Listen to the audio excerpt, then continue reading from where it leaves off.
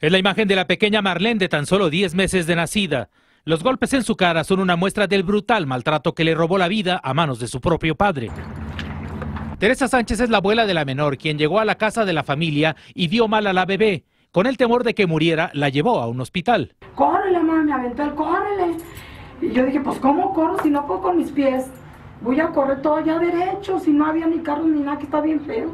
Pero el esfuerzo fue en vano. Yo le paré al carro y, le- y la niña mal hizo. Y se soltó toda. Y dije, no, mi niña se me murió. Y el de carro me llegó de todos modos y ya estaba muerto. La autopsia reveló la escalofriante causa de la muerte. La pequeña fue golpeada en la cabeza, provocando un traumatismo cráneoencefálico. De acuerdo a los datos que se tienen, como digo, eh, es un maltrato dirigido hacia el menor.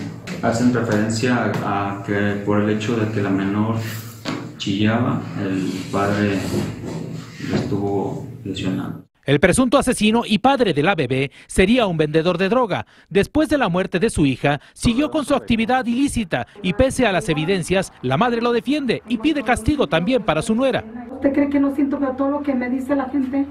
Que su hijo, que su hijo, me da vergüenza. Pero pues ella muy limpiecita. Pues que también ella y me dé las niñas a mí. Los vecinos conocían a la familia que nunca había generado problemas.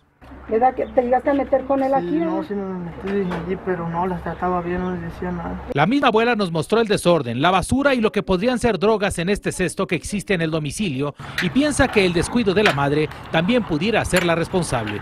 Además de esta acusación por feminicidio, el detenido estuvo preso hace años por la muerte de otro hijo y ahora podría pasar 70 años en prisión. En Ciudad de México, Iván Macías, primer impacto.